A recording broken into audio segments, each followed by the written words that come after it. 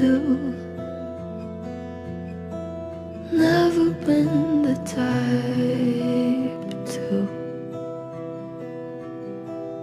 let someone see right through. Ooh.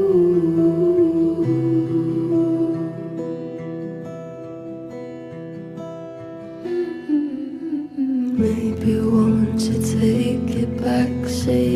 were trying to make me laugh and nothing else to change today.